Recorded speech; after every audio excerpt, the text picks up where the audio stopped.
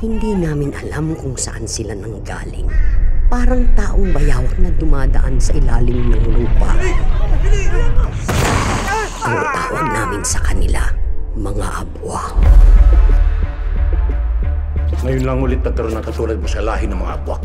Mahalaga ka sa amin, Asmi.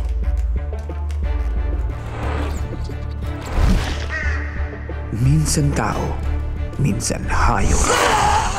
Mapanganib, kaakit-akit, Bagay sa yan, miss. at pwedeng umibig.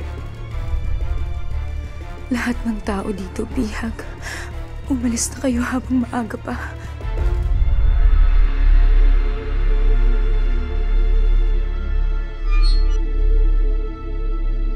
Isa ka ba sa kanila?